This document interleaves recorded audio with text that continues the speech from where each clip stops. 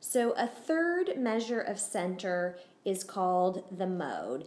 And the definition of mode is the value that occurs the most. So it has to repeat, and it has to repeat the most amount of times of any repeats. So let's go ahead and start with problem 2a. So in 2a, 12 shows up once, 21 shows up once, 13 shows up once, 15 shows up once. Hey, 12 is a repeat. This has just shown up a second time, and 17 only showed up once. So in this case, there's only one number that repeated, which is the 12, and so that's the most occurrences, and 12 is the mode for problem 2a. When it comes to problem 2b, I'm looking at the list, and it's nice, it's in order. So 3 showed up three times, 7 showed up three times, 8 showed up three times, ooh, 10 only showed up twice. Now you have to repeat to be a mode, but you also have to repeat the most amount of times. And even though 10 repeated, it's not as many times as the other. So not only do I have somebody who out repeated another number, there was a tie. So the mode for this problem would be 3, 7, and 8. The mode consists of three values that occurred the most amount of times. They tied.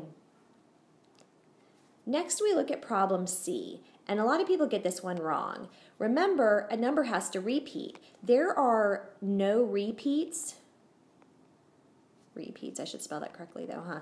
There are no repeats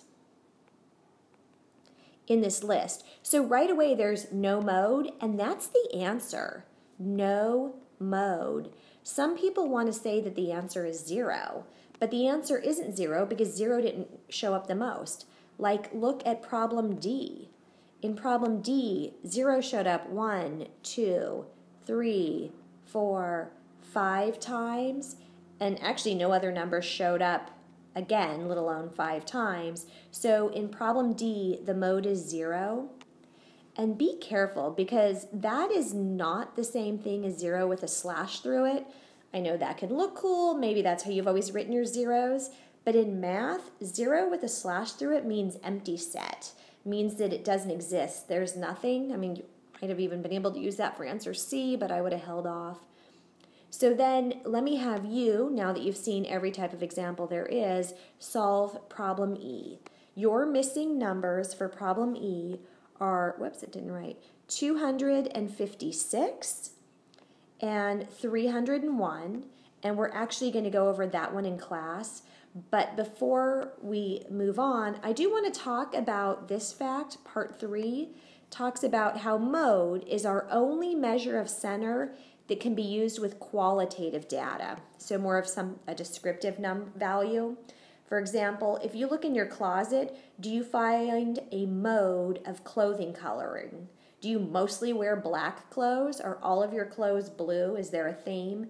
And that would be the mode of your clothing color.